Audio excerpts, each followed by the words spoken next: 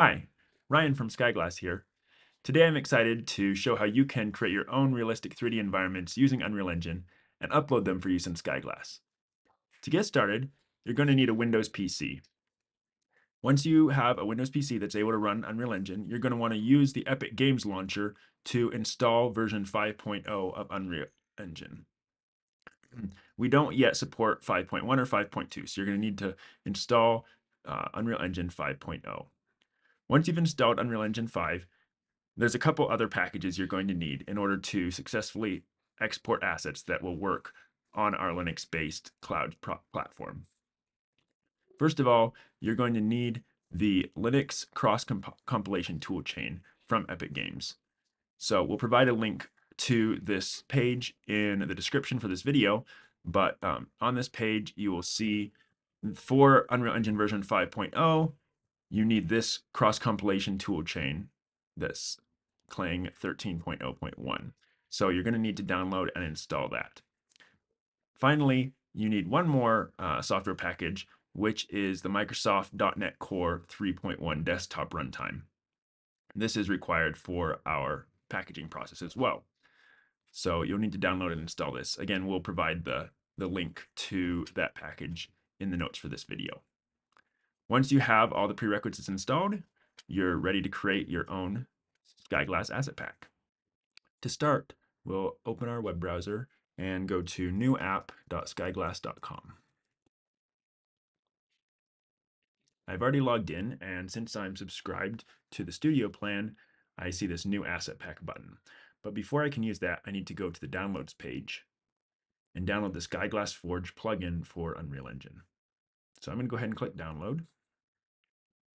Now, because we're a new website, you may um, see a warning that Microsoft isn't familiar with this file.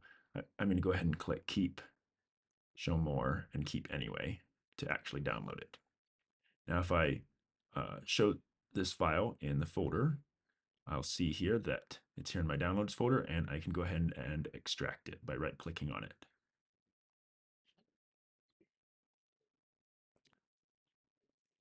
Okay, now that I've extracted the zip file, I can see here a Unreal Engine project. Now the project is named Skyglass Server. That's for technical reasons. You can ignore that. We consider this the Skyglass Forge project. And you're always going to need to open this project whenever you want to create a new asset pack for Skyglass. Now, Skyglass Forge currently is only compatible with Unreal Engine 5.0. So if you have 5.1 or 5.2 installed, it will not work you need to install 5.0 and open this project in Unreal Engine 5.0. So I already have Unreal Engine 5.0 configured, so I'm going to go ahead and double click on this file to open the project.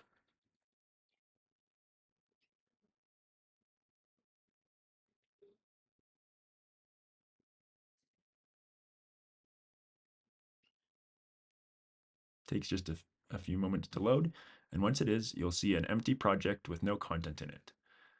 Now I'm going to go up here to the file menu and you'll see there's a Skyglass Forge menu item and a create asset pack option. So I'm going to click on that to create a new asset pack.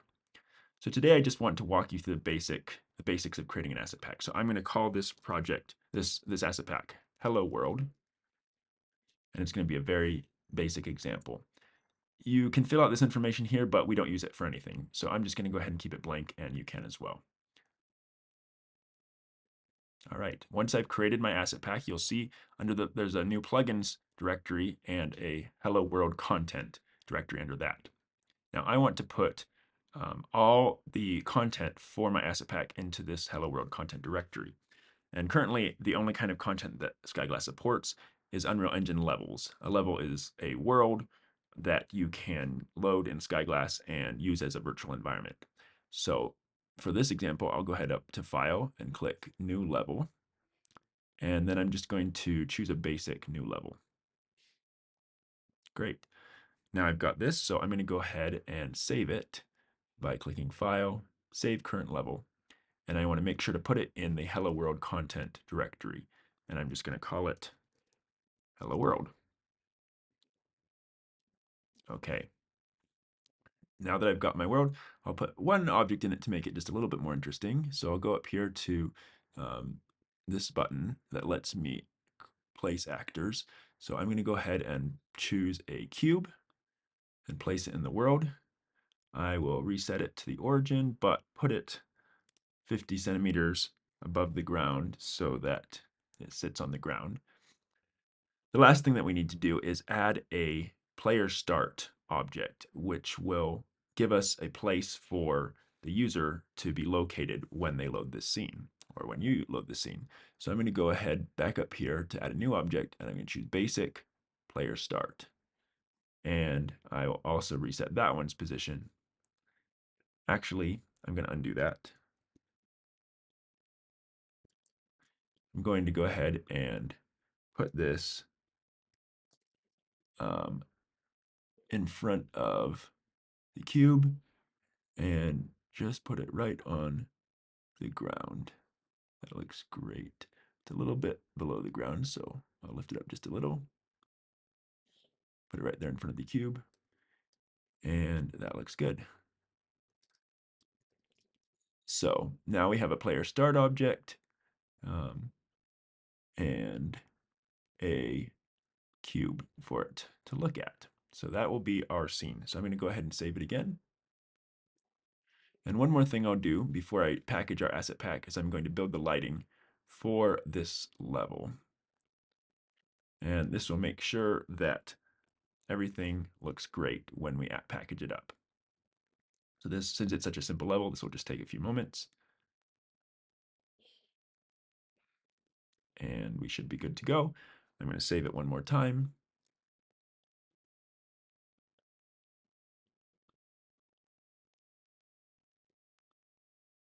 And there's our asset pack. Okay, now that we're done, I'm going to go up here to File, Skyglass Forge, Package Asset Pack, and choose the Hello World package.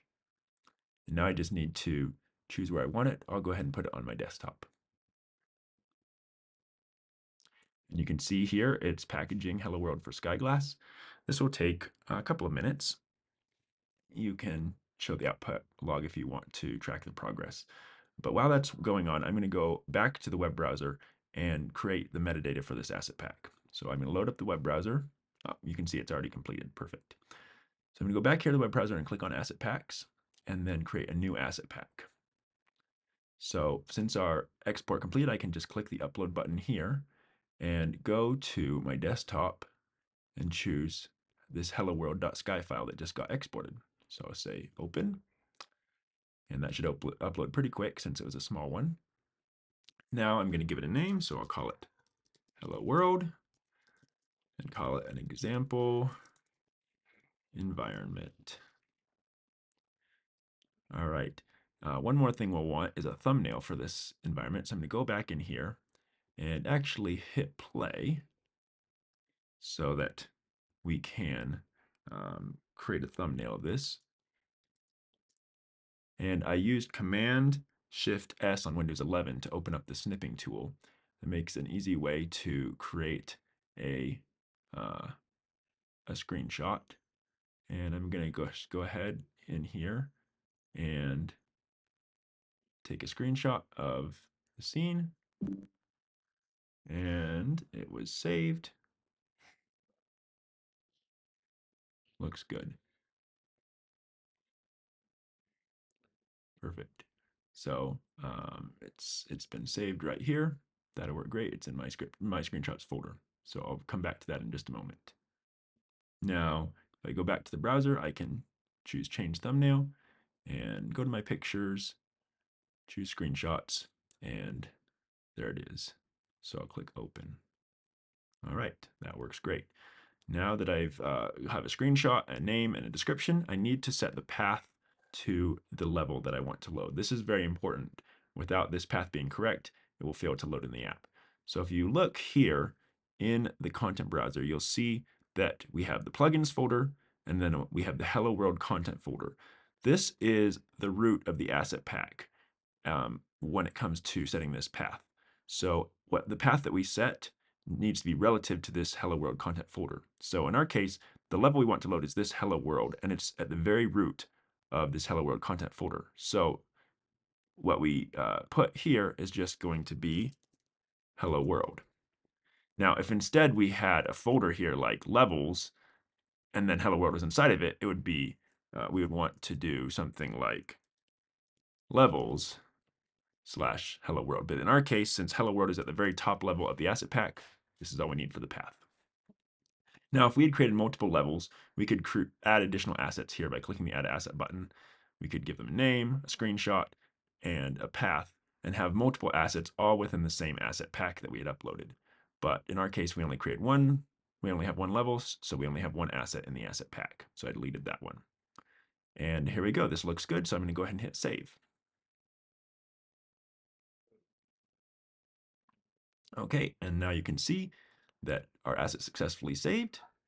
You can go click here if you ever need to make changes to it, but um, I don't need to, so I'm going to cancel. And that's how you create a new asset pack on the Skyglass website. Now, we should be good to go to log into our account on our device and check it out. Okay, here I am in the Skyglass app, logged into the same account, and I can go ahead and open my asset library. I've just updated to the latest version of the Skyglass app, 1.1.0. So you'll want to do that in order to see your assets in the library. So if I tap the asset library here in the corner, I can scroll over and I will see my assets pop in. And the very first one here is this Hello World scene that I just created. So I'm going to tap on it and it will take uh, a few seconds to load it. And after it does, then I'll be able to see that world I just created in Unreal Engine. Okay, now it's loaded that in. I'm gonna go ahead, since I'm sitting down, I'm gonna set the sitting height, set the floor height, and you can see here I am in my simple world with my block. I can go ahead and flip my camera around and uh, set an origin point on the floor. And that allows me to see the block there in front of me. And there we have it. So this is how you create a simple environment in Skyglass using Unreal Engine.